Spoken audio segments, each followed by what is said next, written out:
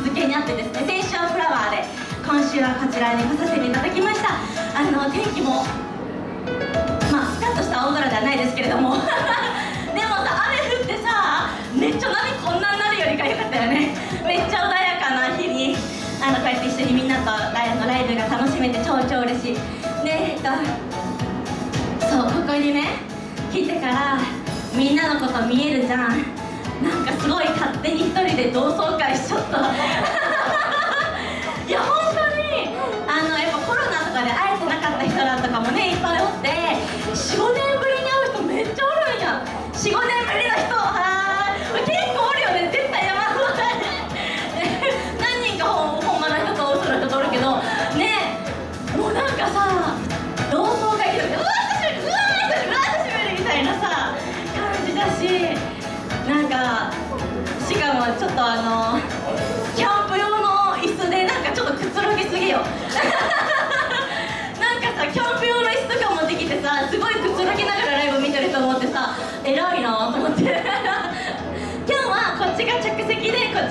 あのちょ直立じゃなくてき起立起立な人たちね。はい。でもね本当にあっという間に終わっちゃいそう。えーっと次のライブって言ってもちょっとあんまり予定が入ってなくて。あの個人的にそもそもライブの予定があんまり入ってなくて 今。あでも今広島ではですねあの馬カフェを作っております。うん。イエーイ。ったり乗馬とかするようなのがきっかけだったんだけどあの広島の秋田方市ってところであの馬を見ながらコーヒー飲むだけとか撫でるだけとかそういう馬と触れ合える楽しい場所を作ってます。全然アイドル活動とは関係ないんだけど。でもねほんまに場所があってそこを何？開墾してる。竹切って草刈ってこの間泥をかき分けながらあぜ板ってモグラが来ないようにねするやつやったりとかしてとにかく頑張ってる。これみんなもね来てもらえるけん。あちょっと止めてもらってちょっと次の曲のあすいません。そう。であのそういうところを作っとるけんあの切ってきたらぜひ来てほしいしできるまでもみんなにお手伝いしてもらえ来て。もらえたら嬉しいなっていうか来て来て来て一緒にあ一緒に来て一緒に来て一緒に来て。キャンプキャンプできるキャンプできるキャンプできるキャンプできる。好きやん好きや。んっていうね感じでいつもほのぼのとやっております。今日終演後物販があるんですけどぜひあの久しぶりって人も声かけてくれたらめちゃくちゃ嬉しいです。